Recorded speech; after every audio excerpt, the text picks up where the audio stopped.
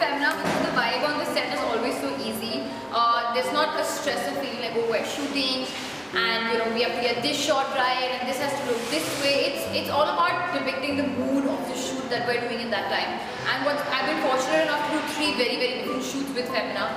So beginning from my first cover to the second to the third, of course, today. And um, what I love about Femina is also we go very quickly and I like shooting quick because I don't have to stress